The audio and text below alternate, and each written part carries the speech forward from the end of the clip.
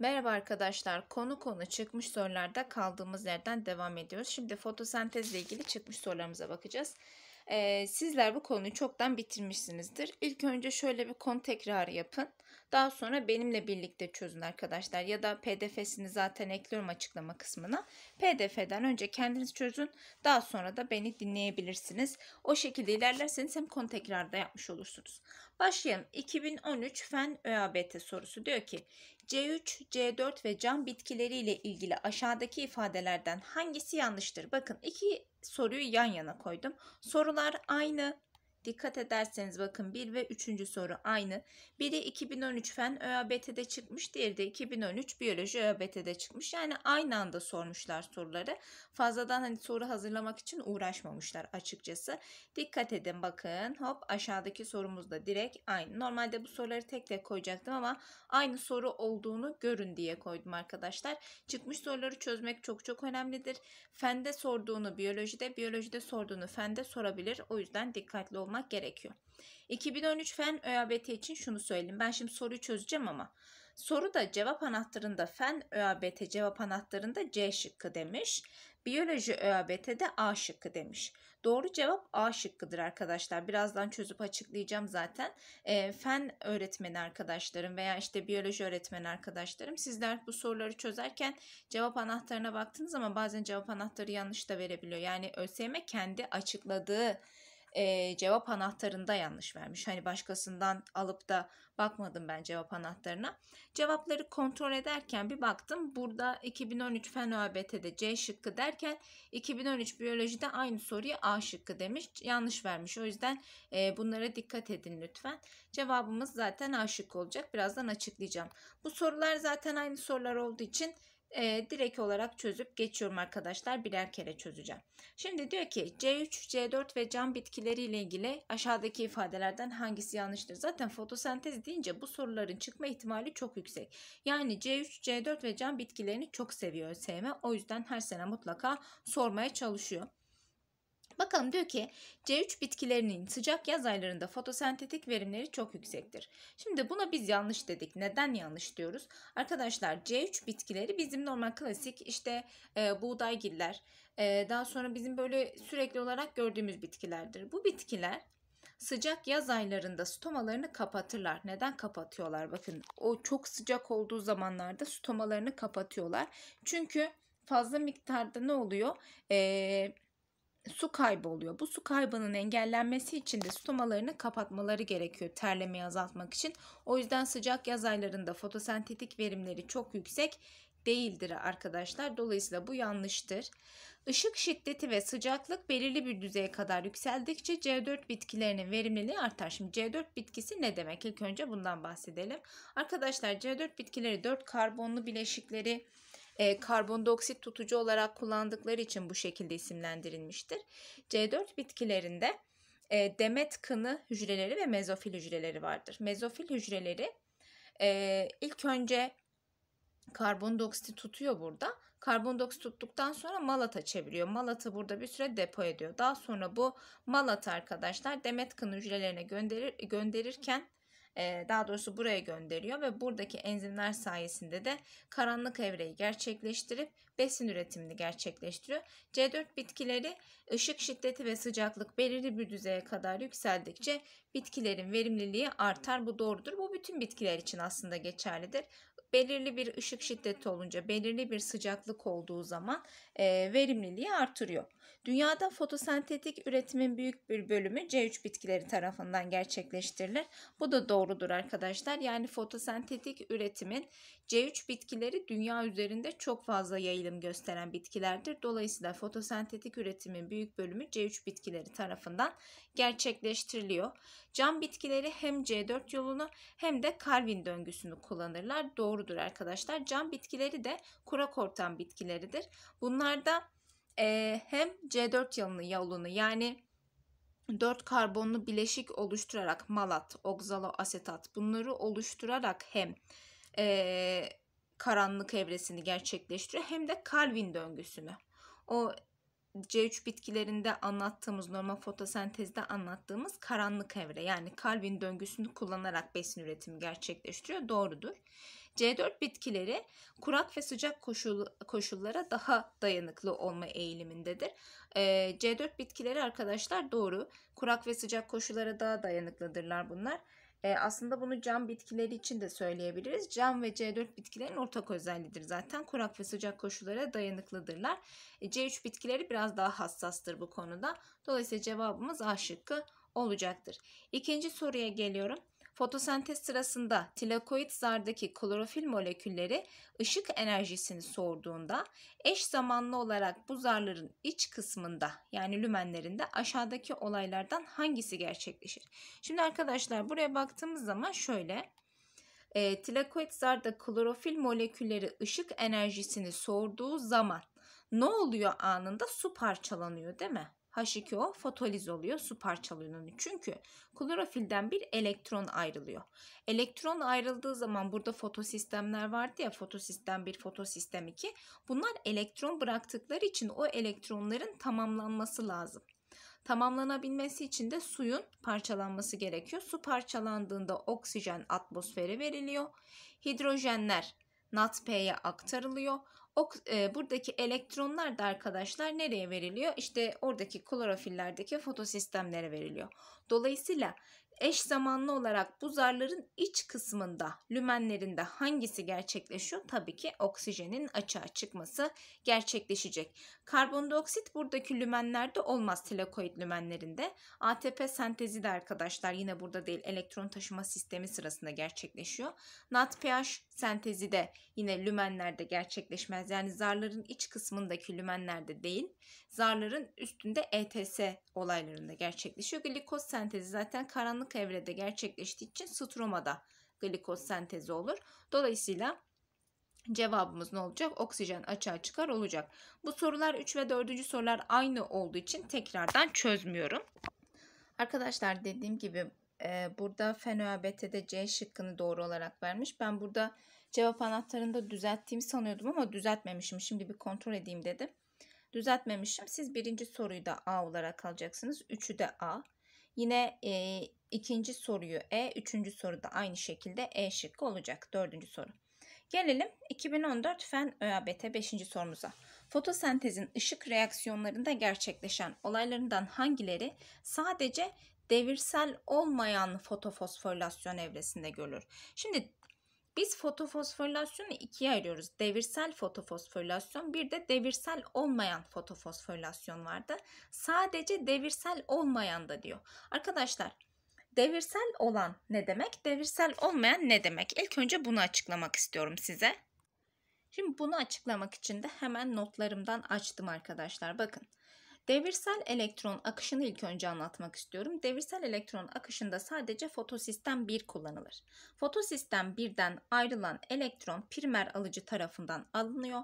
Daha sonra ferrodoksine aktarılıyor. Ferrodoksinden sitokrom kompleksine aktarılıyor. Burada sitokrom A, sitokrom B gibi e, moleküller var. Buradan da nereye gidiyor? Plastosiyanine tekrardan fotosistem 1'e geri dönüyor.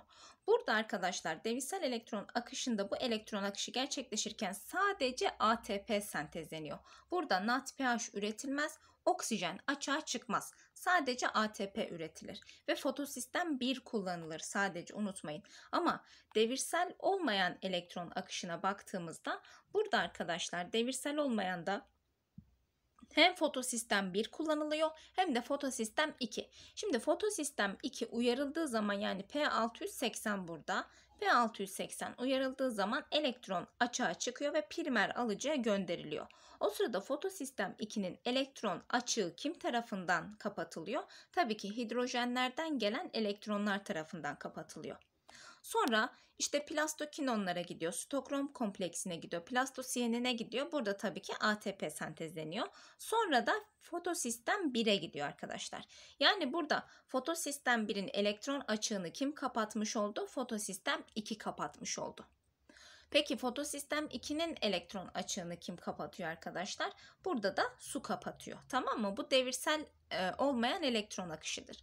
Daha sonra fotosistem birden ayrılan elektronlar da nereye gidiyor? Primer alıcıya, ferrodoksine, NADP redüktazdan e, elektronlar toplanıyor, NADP'ye aktarılıyor. Ayrıca hidrojen yani sudan ayrılan hidrojenler de NADP'ye aktarılarak NADPH üretiliyor. Bu da devirsel olmayan elektron akışıdır ve devirsel olmayan elektron akışı daha uzun, daha karmaşıktır.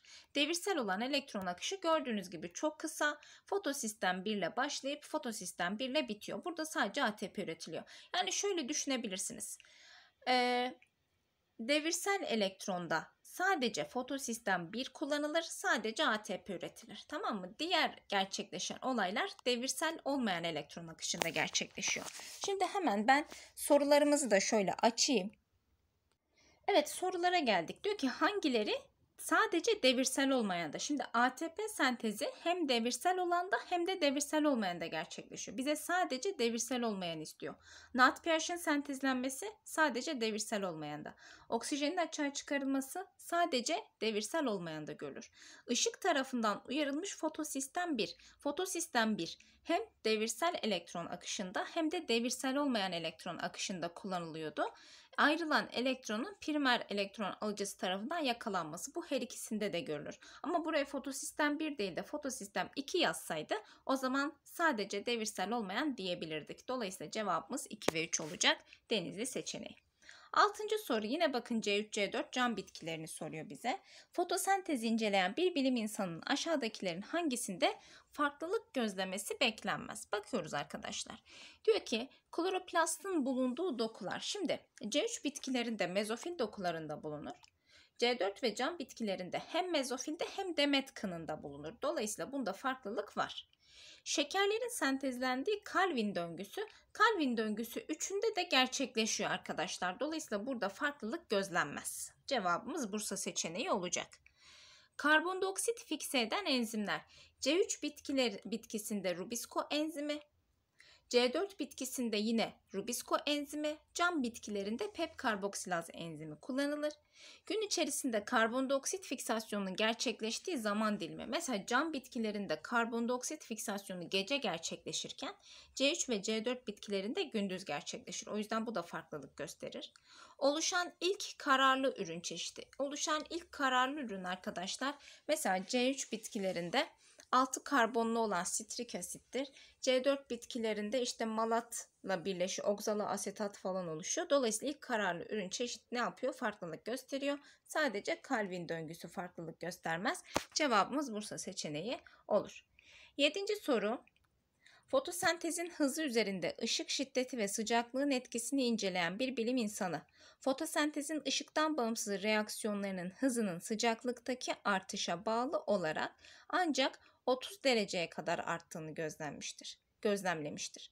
Bu sıcaklıktan sonra fotosentezin ışıktan bağımsız reaksiyonlarının hızındaki azalmanın nedeni bu reaksiyonların olaylarından hangileriyle açıklanabilir? Soru kökü birazcık farklı.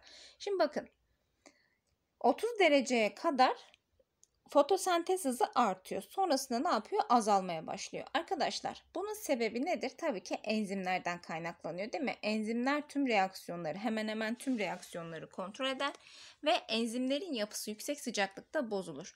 Bu yüzden de fotosentez hızı da ne yapar? Düşmeye başlar. Birincisinde diyor ki enzimler tarafından kontrol edilmesi bu olur. İçsel karbondioksit miktarı tarafından kontrol edilmesi. Şimdi karbondioksit miktarı ile sıcaklığın bir ilgisini bulamayız burada açıklamasında.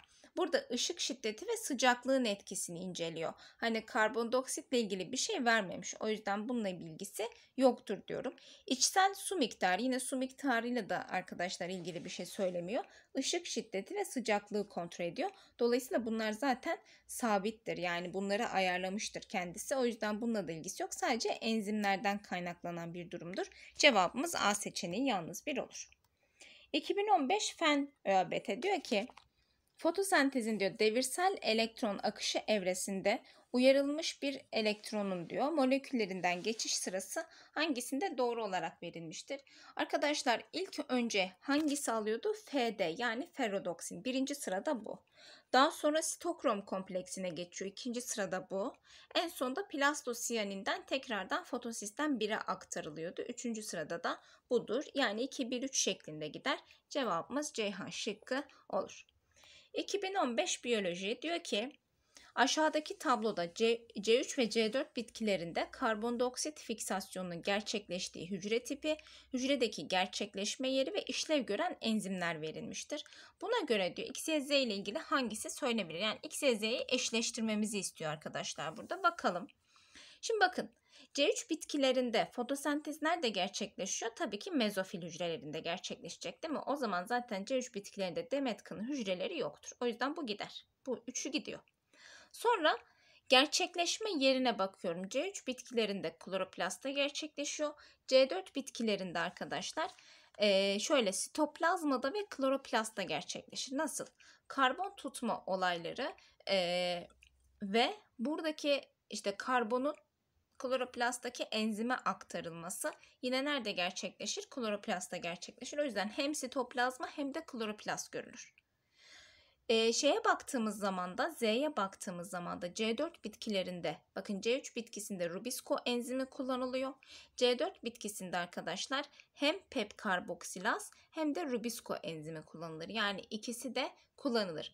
Pep karboksilaz sitoplazmada karbonu tutmak için kullanılırken Rubisco kloroplastta karbonu tutmak için kullanılır. Dolayısıyla cevabımız ne olacak? C şıkkı olacak. Şimdi burada dersiniz hocam neden D şıkkını almadık? Burada kloroplasta vermediği için almıyoruz. Tamam mı? O yüzden almadık. Gelelim 10. sorumuza. Aşağıdakilerden hangisi yalnızca fotosentetik ökaryotların hücrelerinde bulunur? Yalnızca fotosentetik ökaryot.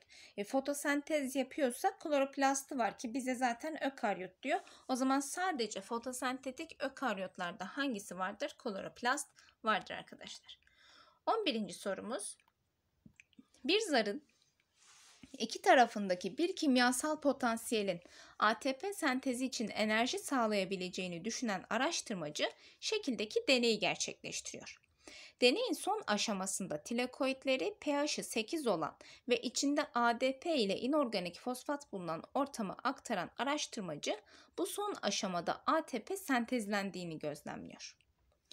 Şimdi deneyi gerçekleştiriyor. pH 8 olunca arkadaşlar ATP'nin sentezlendiğini gözleniyor. Diyor ki araştırmacı bu deneyde aşağıdakilerin hangisinde bir farklılık meydana getirmiştir? Şimdi bakalım. Tilakoid zarların geçirgenliğinde demiş. Tilakoid zarın karşılıklı iki tarafındaki proton derişiminde, tilakoidlerdeki pigment miktarında, tilakoidlerde elektron taşınım hızında ve tilakoidlerin miktarında diyor. Şimdi bizim burada değişen ne var ona bakmamız lazım ve ona göre bulmamız lazım. Bakın dengelenme evresi var. Tilakoidler aktarılmış. pH kaç? 4. Burada pH kaç? 8. Bakın pH'ta bir değişiklik var. Yani pH artmış, asitlik azalmış. Peki bunu azaltan nedir? Tabii ki hidrojen derişimidir değil mi? O zaman burada ne üzerinde bir değişiklik olmuştur ki zaten hidrojenler ATP sentaz yolundan aktarıldığı zaman ne oluyordu? pH yükseliyor, asitlik düşüyor, ATP sentaz çalışarak ATP üretiyor. Dolayısıyla burada bizim hidrojen derişimine bakmamız lazım. Genelde sorularda hidrojen demez proton der arkadaşlar. Telekoid zarın karşılıklı iki tarafındaki proton derişiminde bir değişiklik meydana getirerek ATP sentezini gerçekleştirmiştir diyebiliriz. 12. sorumuza geliyoruz. Yine C3, C4 ve cam bitkileriyle ilgili bir soru. Diyor ki C3, C4 ve cam bitkileriyle ilgili ifadelerinden hangileri yanlıştır? Dediğim gibi bu konuyu çok seviyor. Bilinen bitki türlerinin çoğunluğu C3 bitkileridir. Bunu söylemiştik arkadaşlar. En yaygın olan bitki türüdür C3 bitkileri doğru. Cam bitkilerinde, cam bitkilerinde atmosferdeki karbondioksitin fiksasyonu gece gerçekleşir. Cam bitkileri kurak ortam bitkileri olduğu için geceleri stomalarını açıyorlar, karbondioksiti alıyorlar arkadaşlar. Doğru. C3 bitkileri sıcak iklim koşullarında daha verimlidir demiş. Bakın önceki sorularda da bunu sorguladı. C3 bitkileri sıcak iklim koşullarında verimli değillerdir. Stomalarını kapatıyorlar. O yüzden bu olmaz. C4 bitkilerinde demet kını hücreleri de kloroplast taşır. Evet arkadaşlar demet kını hücrelerinde de fotosentez gerçekleşebiliyor. Normal mezofil hücrelerinde de gerçekleşebiliyor. Dolayısıyla doğrudur. Bize hangileri yanlıştır dediği için yanlış olan yalnız 3'tür. Cevabımız Bursa seçeneği olur. 2017 Fen ÖABT diyor ki fotosentetik organizmalardan yüksek yapılı bitkilerin sahip olduğu pigment protein kompleksleri aşağıdaki elektromanyetik spektrum bölgelerinden hangisini sorur? Hangisini sorabiliyor arkadaşlar? Görünür olanları değil mi? Görünür ışınları e, sorabiliyor. Dolayısıyla cevabımız ne olacak? Ceyhan seçeneği olur. Zaten X ışınları, ultraviyole, gamma ışınları ve mikrodalgalar zararlı ışınlardır. Bunlardan kendilerini korumaya çalışırlar. 14. sorumuza geliyoruz. 2017 biyoloji. Mitokondri ve kloroplastlarda gerçekleşen kemoozmotik mekanizmada diyor olaylarından hangileri ortaktır? Diyor ki her ikisinde de aktarılan elektronlar aynı kaynaktan elde edilir. Arkadaşlar elektronlar bir kere mitokondride nereden geliyor? Organik besinden geliyor değil mi? Glikozdan geliyor. Kloroplastlarda ise elektron nereden geliyor? Sudan geliyor. Dolayısıyla elektron aynı kaynaktan elde edilmez. Bu yanlıştır. Elektronların taşıması sırasında zarların iki tarafında proton gradiyenti oluşur. Yani proton farklılığı, hidrojen farklılığı oluşur. Doğrudur. Her ikisinde de bu proton farklılığından dolayı ne oluyor? Taşıma olayı gerçekleşiyor. Doğru. Protonların ATP sentaz içinden diğer tarafa difüzyonla geçmesi sonucunda ATP sentezlenir. Bunu zaten ATP sentaz enzimi yapıyordu. Hatırlarsanız şöyle bir enzimdi. Burada özel bir hidrojen yolu vardı. Bu hidrojen yolundan protonlara aktarılıyor ve her aktarım gerçekleştikçe de ATP sentezleniyor. Her ikisinde de bu ortak e, bu olay ortaktır. Cevabımız Edirne şıkkı olacak. 15. soru. Krasülasyon e, asit metabolizması yani camdan bahsediyor. Cam bitkilerine aşağıdakilerden hangisini kazandırmıştır? Arkadaşlar Burada e, cam bitkilerinin en önemli özelliği nedir cam bitkilerinin? Bunların gece karbondioksit yakalamasıdır. Tamam mı? En önemli özelliği budur. Bu asit metabolizması dediğimiz krasülasyon asit metabolizması bunlarda e, geceleri karbondioksit tutmayı ya da şöyle düşünün stomalarını gündüz kapatıp işte su kaybını azaltmayı kazandırmıştır. Bakıyorum herbivörlere karşı kendilerini daha iyi savunma. Bununla herhangi bir ilgisi yok. Fotorespirasyonda e, fotorespirasyon hızında artış. Fotorespirasyon neydi? Işık solunumuydu. Işık solunumu arkadaşlar oksijenin e, üretilen oksijenin fotosentez sırasında kullanılması olayıdır. Bunda da herhangi bir şey yok ki zaten krostasyon asit metabolizması bu fotorespirasyonu azaltıyor. Gündüzleri stomaları kapalı tutarak su kaybını azaltma. Bakın bu olur değil mi? Cevabımız bu olur. Solunum hızında artış. Bu asit metabolizmasının solunumla ilgisi yok. Su ve mineral madde absorpsiyonunda artış. Bunun köklerle ilgisi vardır. Bu da değil. Cevabımız ne olacak? C şıkkı olacak. 16. soru. Kloroplastlarla ilgili hangisi doğrudur? Farklı hücrelerde büyüklük ve biçim bakımından değişiklik gösterebilirler. Arkadaşlar kloroplastlar farklı hücrelerde, farklı e, biçimde, farklı büyüklükte olabiliyorlar. Dolayısıyla hücreden hücreye farklılık gösterebiliyor. Bu doğrudur.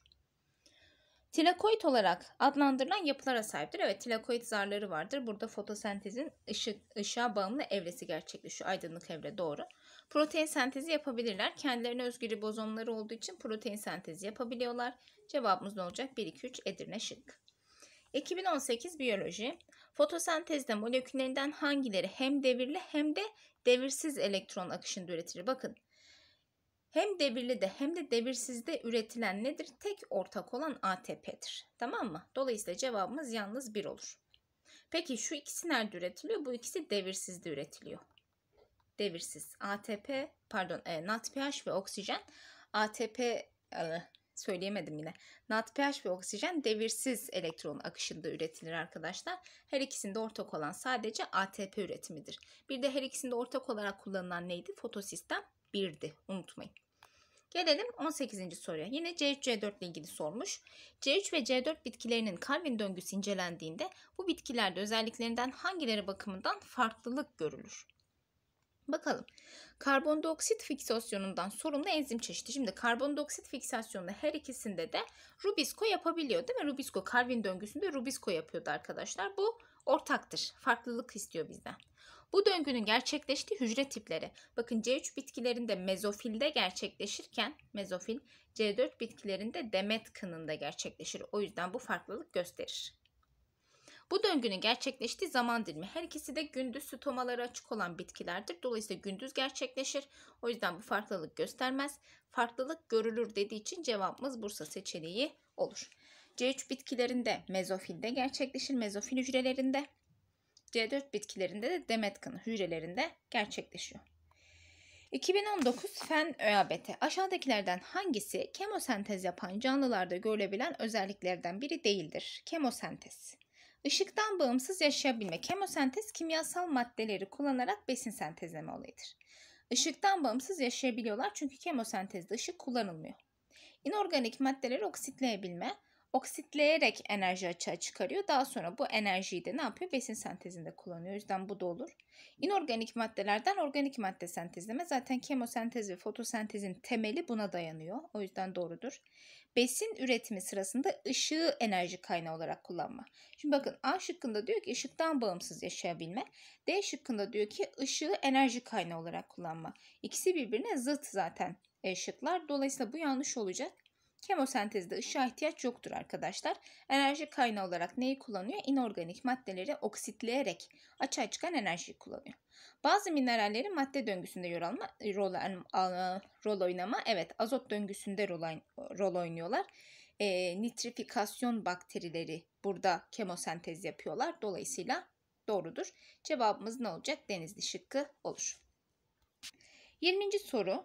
Fotosentezin Calvin döngüsünde 3 karbonlu şekerden karbondioksit alıcısı 5 karbonlu riboz bir fosfat molekülünün yeterince üretilerek döngünün başlaması için moleküllerden hangilerinin yeterli miktarda olması gerekiyor diyor. Şimdi arkadaşlar 3 karbonlu şekerden karbondioksit alıcısı olan 5 karbonlu olan riboz bir fosfatı üretmek istiyoruz. Bunun için diyor hangisinin yeterli olması lazım? Bakalım. Bir kere bunun için enerji kullanacak mı? Kullanacak değil mi? O yüzden enerjiyi yeterli olması gerekiyor. Daha sonra bu 3 karbonlu şekerden 5 karbonlu riboz bir fosfatı oluştururken bir kere karbondioksit yani karbon eklemesi gerekiyor. Ayrıca arkadaşlar bu 3 karbonlu 2 tane şeker bir araya gelerek ne oluşturacak? 6 karbonlu şeker oluşturacak değil mi? Bu 6 karbonlu şekerin 5 karbonlu riboz bir fosfata dönüşmesi lazım. Bunun için de bir tane karbondioksit açığa çıkması lazım. Karbondioksit açığa çıkarken ayrıca açığa ne çıkıyor? Hidrojen çıkıyor. Bu hidrojeni kim tutuyor? NADP tutuyor. O zaman ortamda yeterince NADP de bulunması lazım. NADPH'e ihtiyacımız yok zaten. Hidrojen bağlama olayı burada yoktur. O yüzden cevabımız ne olacak? Denizli seçeneği olacak. Bir dakika. Aslında NADPH'ları da şöyle kullanabiliriz. Evet bir dakika. NADPH'ları da kullanırız. Denizli olmaz. Bir dakika. NADPH'ları da şöyle kullanırız arkadaşlar. Şimdi bu 3 karbonlu şekerler birleşecek ya. Bu 3 karbonlu şekerler birleşince ortamdaki hidrojenleri de alacaklar. Dolayısıyla hidrojenleri alabilmesi için NADPH'lara da ihtiyacımız vardır. Dolayısıyla burada 1, 2, 3 şeklinde olur. Yani burada Edirne seçeneği yok ama şöyle Edirne seçeneği 1, 2, 3 şeklinde olacak. Şöyle 1, 2, 3 tabii farklı farklı yazdım ama 1, 2, 3 şeklinde olur. Hepsine ihtiyacımız vardır. Cevabımız E şıkkı olacak. Gelelim 21. sorumuza. C3 ve C4 bitkilerinde fotosentezle ilgili diyor hangileri ortaktır? Bakın yine C3 C4'ü sormuş. Calvin döngüsünün gerçekleştiği hücre tipi. Arkadaşlar Calvin döngüsü nerede gerçekleşiyordu? C3 bitkilerinde, mezofil hücrelerinde, C4 bitkilerinde demet kanı hücrelerinde. Dolayısıyla bu ortak değil. ATP sentezlenme mekanizması hepsinde kemozmatik mekanizma geçerlidir. O yüzden bunu alıyoruz. NADPH sentezlenme mekanizması. NADPH neyle sentezleniyordu? Devirsel olmayan fotofosforilasyonla. Dolayısıyla bu ikisinde de gerçekleşiyor. Devirli ve devirsiz fotofosforilasyon hepsinde ortaktır. Burada sadece ortak olmayan Şöyle hücreleri farklı farklılık gösterebiliyor. Enzimleri farklılık gösterebiliyor arkadaşlar ve gerçekleşen zaman dilimleri. Cam, cam bitkilerini de buraya dahil ettiğimiz zaman gerçekleşen zaman dilimleri farklılık gösteriyor.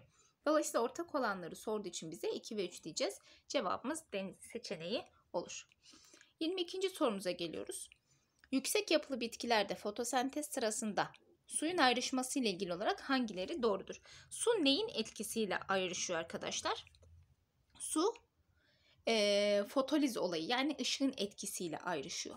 Burada diyor ki enzim kullanılmaz. Şimdi hemen hemen bütün reaksiyonlarda ne dedik? Enzim kullanılıyor dedik. Arkadaşlar burada enzim kullanılmaz demesi yanlış olur. Enzim kullanılır. Işıktan bağımsızdır. E, fotoliz diyoruz. Işık olmazsa suyun ayrışması gerçekleşmez. Dolayısıyla bu da olmaz. Tilakoidin lümeninde gerçekleşir. Evet tilakoid zarlarda gerçekleşiyor bu olay. Dolayısıyla bunu alıyorum doğrudur. Cevabım ne olacak? Yalnız 3 olacak. Geçelim diğer sorumuza. 23. sorumuz. Bazı fotosentetik bakterilerde fotosistem 2 bulunmayıp sadece fotosistem 1 işlev görür. Bu organizmalarda fotosentezin ışık tepkimelerinde fotosistem birden ayrılan elektronlarla ilgili diyor. Hangileri doğrudur? Şimdi fotosistem birden ayrılan elektronlar o zaman ee, ne olacak burada? Sadece devirsel elektron taşıma sistemi kullanılacak. Yani fotosistem 1, birin kullanıldığı devirsel elektron akışı. NADP'nin indirgenmesinde kullanılır. Devirsel elektron akışında NADP indirgeniyor muydu? Yani hidrojen bağlanıyor muydu? Hayır. Bunu ol- olmaz. Taşınımları sırasında ATP üretimi. Evet fotosistem 1 kullanılan devirselde ATP üretiliyor. Her ikisinde de üretiliyor zaten. Olur. Elektron taşıma zincirine transfer edilebilir ki zaten ATP üretiminin olması için elektron taşıma sistemine bu elektronların gitmesi gerekiyor. Bu da olur. Cevabımız 2 ve 3 olur. Neden NADP yok? Çünkü NADP devirsiz olan da var. Devirsel olmayan yani devirsiz elektron akışında NADPH üretiliyor. Oksijen üretiliyor. Unutmayın tamam mı? Burada sadece fotosistem 1 kullanıldığı için bu devirsel elektron akışı demektir.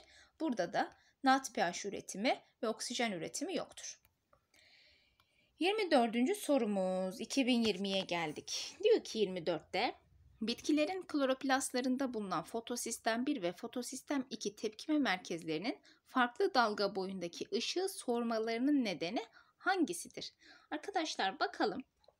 Bir kere bu neye bağlıdır? Bunların merkezlerinde ne var? Klorofil var. Klorofil A, klorofil B. Tamam mı? Bu klorofillerin farklı olmasından kaynaklanıyor. Bakın birbirinden oldukça farklı klorofil moleküllerine sahip olması, anten pigmentlerinin farklı olması, tilakoid zarda farklı yerde bulunmaları, içerdikleri klorofil moleküllerinin farklı proteinlerle birleşmiş olması, ilk elektron alıcılarının farklı olması. Şimdi bunların merkezlerinde klorofil A var.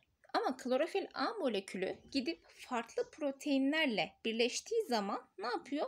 Fotosistem 1 ve fotosistem 2 farklı dalga boylarındaki ışığı soğuruyorlar. O yüzden burada bakın en uygun cevap birbirinden oldukça farklı klorofil. Şimdi farklı klorofil dediğimiz klorofil A ve klorofil B var. Ama bunların merkezlerinde her ikisinin merkezinde de bulunan klorofil A'dır. Dolayısıyla ee, burada farklı klorofil olmasına sebep değildir yani bu. Bu gider. Cevabımız direkt olarak ne olur zaten? İçerdikleri klorofil moleküllerinin farklı proteinlerle birleşmiş olması olur. Farklı proteinlerle birleşip farklı dalga boylarını soğurmalarına sebep olur arkadaşlar. Denizli seçeneği. 25. soru. Diyor ki yüksek yapılı bitkilerin fotosentezinde suyun fotolizi sonucunda oluşan protonların tilakoid lümenden stromaya aktarılmasında yapılarından hangileri sorumludur? Şimdi proton dediğimiz nedir? Hidrojendir.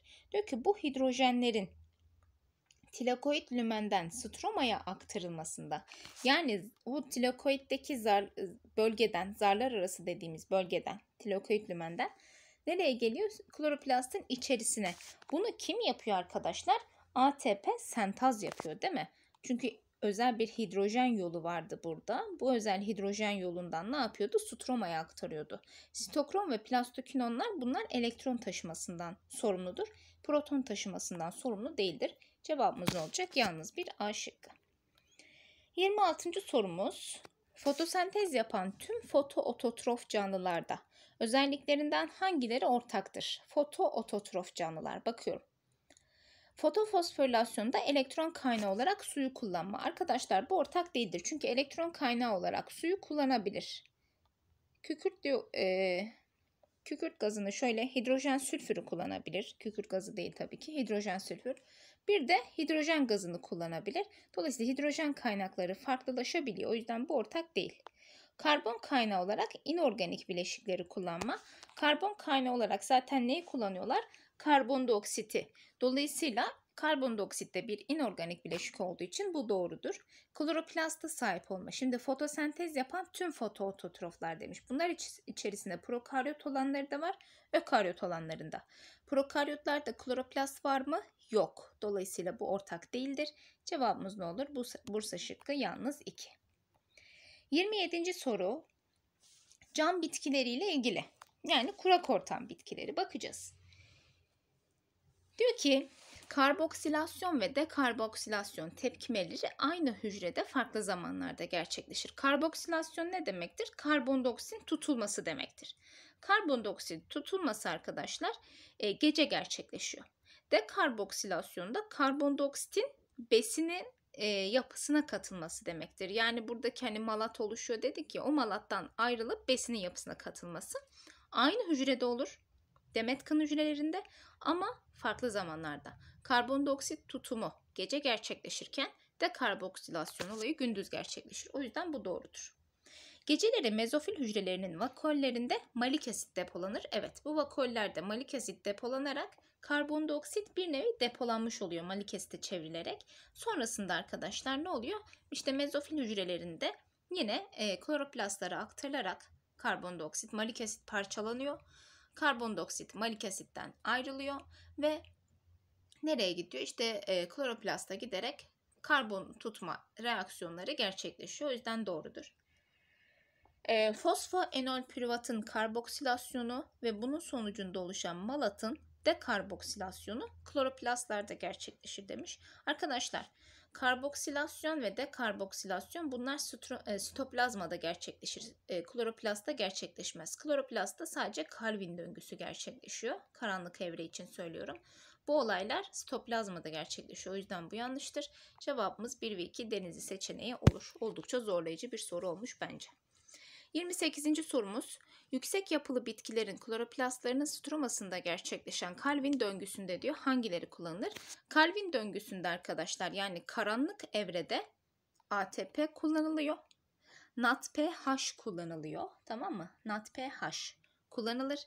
Ee, ve aynı şekilde su kullanılır. Dolayısıyla suyu alıyorum. Burada NADP dediği için NADP'yi almıyorum. Su kullanılıyor. ATP kullanılıyor. Dolayısıyla burada ne olacak? 1 ve 3 kullanılıyor. Ayrıca NADP'ler, NADPH'lardaki hidrojenler alınıyor. Tamam mı? NADPH deseydi onu da almış olurduk. Dolayısıyla cevabımız 1 ve 3 şeklinde olacak. 29. soru.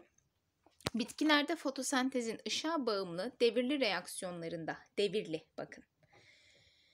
ATP sentezlenebilmesi için diyor hangilerinin gerçekleşmesi zorunludur. Şimdi devirli olanda ne oluyordu? Fotosistem 1'den ayrılan elektron tekrardan fotosistem 1'e geri dönüyordu. Burada su kullanılıyor mu? Hayır. Gitti. Karbondioksitin stomalardan e, yapraklara geçmesi. E, stromadan yapra pardon stomalardan yaprağa geçmesi demiş arkadaşlar. Burada yaprağa geçme olayı da gerçekleşmez. Çünkü karbondioksite bilgimiz yoktur. Karbondioksit ışıktan bağımsız evrede kullanılır. O yüzden bunu da almıyoruz. Tilakoid zarın her iki tarafında proton derişim farkının oluşması. Proton derişim farkı ATP'nin sentezini gerçekleştirir kemozmatik mekanizmayla. Dolayısıyla bu olur. Cevabımız ne olacak? Yalnız 3 Bursa seçeneği olacak. Geliyoruz son iki sorumuz. 2022 biyolojide çıktı. Ben de girdim biliyorsunuz bu sınava. Kloroplasttaki elektron taşıma sistemi ile ilgili hangisi yanlıştır? Elektronların fotosistemler arasında iletilmesini sağlar. Doğru değil mi? Fotosistemler mesela fotosistem birden ayrılan elektron nereye gidiyor? Fotosistem 2'ye gidiyor.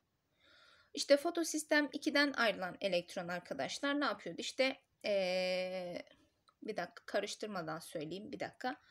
Fotosistem Birin elektron açığını kim kapatıyordu? Fotosistem 2 kapatıyordu. Fotosistem 2'nin elektron açığını da kim kapatıyor? Su kapatıyordu arkadaşlar. Dolayısıyla elektronların fotosistemler arasında taşınmasını sağlıyor. Bu doğrudur. Tilakoid zarın içinde ya da yüzeyinde yer alır. Bu da doğrudur arkadaşlar. Tilakoid zarlarda bulunur iç ya da yüzey fark etmez. Elemanların hepsi proteinden oluşmuştur diyor. Şimdi bakın. Burada ubikinon dediğimiz bir protein bir yapı var. Ubikinon. Bu yapı yağ yapılıdır, steroid yapılıdır. Tamam mı? Tek protein olmayan yapı ubikinondur. Diğerlerinin hepsi proteindir. Burada hepsi proteinden oluşmuştur dediği için bu yanlıştır. Sitokrom kompleksi bu sistemin bir parçasını oluşturur. Evet elektron taşıma sisteminin bir parçasıdır sitokrom. Tilakoid lümene hidrojen iyonlarının pompalanmasında bu sistemden geçen elektronların enerjisi kullanılır. Zaten elektron enerjisi kullanılarak e, hidrojenler pompalanıyor. Daha sonra bu hidrojenlerin ATP sentezden geçişiyle de ATP sentezleniyor. Bu da doğrudur. Cevabımız C şıkkı olacak. Son sorumuz fotosentezde fotosistem 2'nin reaksiyon merkezinde yer alan bazı klorofil A molekülleri uygun dalga boyundaki ışığı soğurduktan sonra yükseltgenirler. Yükseltgenirler demek yani elektron bırakırlar demek. Bu moleküllerin yeniden indirgenmesini hangisi sağlar? Ha bakın şunu soruyor aslında size. Diyor ki fotosistem 2'nin diyor elektron açığını kim kapatır diyor. Arkadaşlar fotosistem 2'nin elektron açığını kim kapatıyordu? Su değil mi? Burada H2O'nun ayrışması gerekiyor. Çünkü fotosistem 1'in bakın fotosistem 1'in elektron açığını kim kapatıyor? Fotosistem 2 kapatıyordu. Fotosistem 2'nin elektron açığını kim kapatıyor? Sudan ayrışan elektronlar kapatıyor. Yani böyle bir döngü var. Dolayısıyla suyun ayrışması gerekiyor diyoruz. Evet böylece bitirmiş olduk sorularımızı. Bu arada tekrardan cevap anahtarına gelmişken söyleyeyim. Şuradaki 1C olmayacak A olacak. Ben sonradan değiştirdim diye düşünüyordum. Değiştirmemişim. Bir numaranın birinci sorunun cevabı A olacak arkadaşlar. Sonraki videoda hücre bölünmesine geçiyoruz. Hücre bölünmelerine. Sonraki videoda görüşmek üzere. Hoşçakalın.